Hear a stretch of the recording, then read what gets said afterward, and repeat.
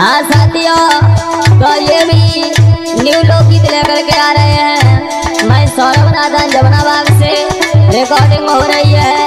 Saurabh Yadav Karhali YouTube channel के माध्यम से। तो एक पत्नी अपने पति को समझा करके बोलिए सौरभ भैया